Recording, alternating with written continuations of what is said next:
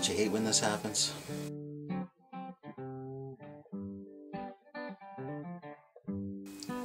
Today on Repairs 101, I got a sink that won't drain. And if you're watching this, I imagine you've got one too. So I'll take you through your options and show you what you can do about it. I'm allowing the washing machine to vent into the sink, which allows for a buildup of what is otherwise just dryer lint that never made it to the dryer. And get you a shot of some of that stuff. It's pretty horrible. Okay, as always, first line of defense is going to be a plunger. We're just get in there and see if we can't get a real good seal on it. And I say the plunger is the first line of defense because it's the most eco-friendly choice you have, and that is just to use hydraulic pressure to drive through your blockage. You know, this is the second time I'm trying this and it's really not working out for me. So I'm going to have to move on to something stronger. Alright, so this is my snake. There's all kinds of different snakes actually. This is just an inexpensive manual snake that you'll find at virtually any good hardware store. Uh, this one's probably 15 feet long, I'm not really certain. I've had it for many, many years. And the reason I'm wearing gloves, of course, is to keep me from coming into contact with the horrible places that this little fella has been. So I'm just going to unwind it and drop it on the floor. Show you that that's what we're looking at. It's nothing but a spring that's been unwound a bit at the end. So I'm going to just let it seep. I know it's probably going to be clear in a few hours, clear enough that I don't have to bucket it all outside or pitch it out the window. So I'm just going to wait it out. You know, that's often the best thing you can do, especially with uh, home plumbing like a toilet. Uh, sometimes, if, if you can, apply the 24-hour rule, which is just come back 24 hours later, because very often organic matter will break down in the water in that period of time and clear itself. Uh, but this isn't going to, but it will seep fast enough through the material. You can see, that's just a rag I was using yesterday. Got a lid from one of these Rubbermaid storage bins and uh, I'm going to use that to catch the water.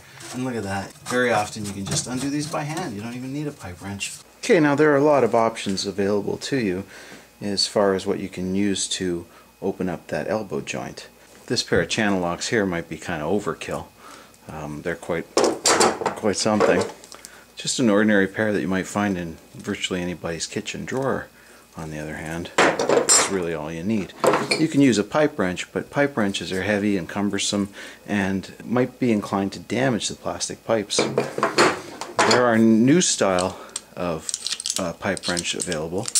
That would certainly be very effective and uh, very useful, but that's kind of an expensive wrench for the average person. So I might still recommend you just go with the uh, with the medium-sized channel locks here. Um, if, if all you've got is, say, a chain wrench or a locking chain wrench, you know, this kind of stuff will obviously do the job, but you're going to have to be very careful, as, as with the pipe wrench, you know, you're going to have to be very, very careful. You're dealing with plastic fittings, and they don't take a lot. Now, a specialty wrench here, the manufacturer was kind enough to let us know what it is. It's called a slip and lock nut wrench. And I've uh, had a lot of use for this in the boat building industry. I use it on plastic through-hull fittings. It's just a wide-jawed adjustable wrench and you're just to slip it like that. Now this is a very, very light-duty little tool, but if you're uh, collecting unusual tools, and because they're nice and light, um, you're not as likely to slip and say damage a, a new fiberglass boat when you're putting in through-hull fittings. Okay, so this time I'm going to be wearing my respirator with, with the organic cartridges on it. Although this isn't a toilet outlet. It is connected to all the other toilet outlets in the neighborhood. And the smell coming out of it is just ferocious. You're going to want to uh, ventilate the room well and, like I'm doing, wear a respirator. Already loosened off the top nut with these channel locks here. Got my catch basin underneath. I'm just undoing it and out it comes. I'll just pour the water into this catch basin here and to my surprise the elbow is completely clear. The problem is further downstream. Lucky for me I got a snake. Before you do anything else you need to shove a rag or something up to plug that hole because you get the sewage gas smell coming up because now there's no water trap to stop it.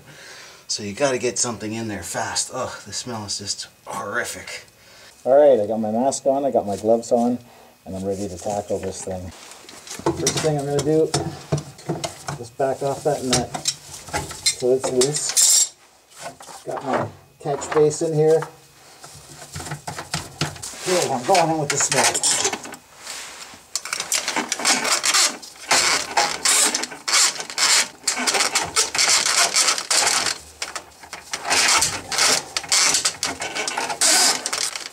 Okay, I'm going to use the crank. It's a very crude little crank, but it works nonetheless. It allows you to spin. You just tighten that thumb screw right there, and the S turn in the in the metal allows you to crank a little bit, and then you can back it off and feed some more in. There we go. Going a lot further now. It's good. Check it out. That is the absolute end of my snake. It is all the way in. All but this one foot that you see in my hand. So I'm going to put my catch basin right here again and slowly pull it out and clean it off as it's coming out.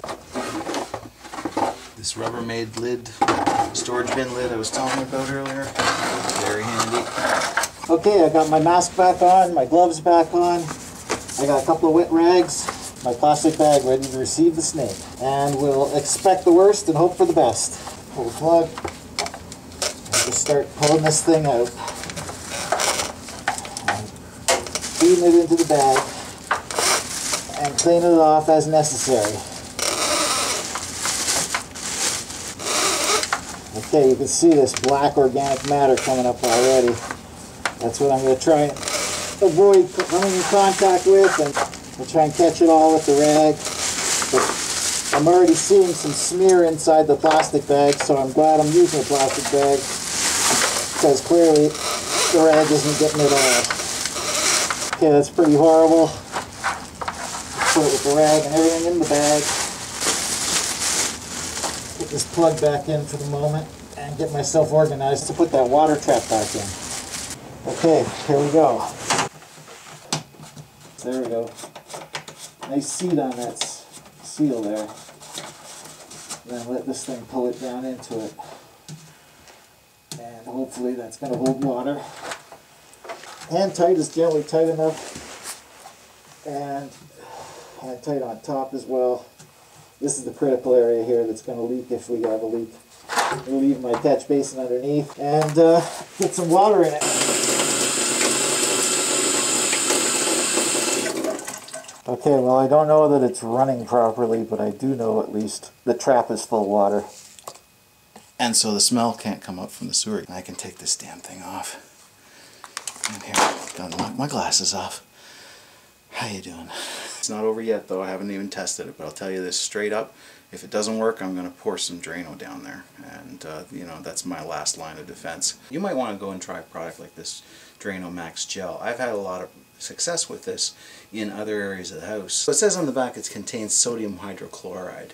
And, you know, it's a great product. I just wanted to suggest that when you're trying to decide whether or not to use a product like that, consider the fact that the water you're pouring it into is indirectly the same water you're drinking. Okay, sounds like it's to require some more plunging. Yeah. Not free running yet.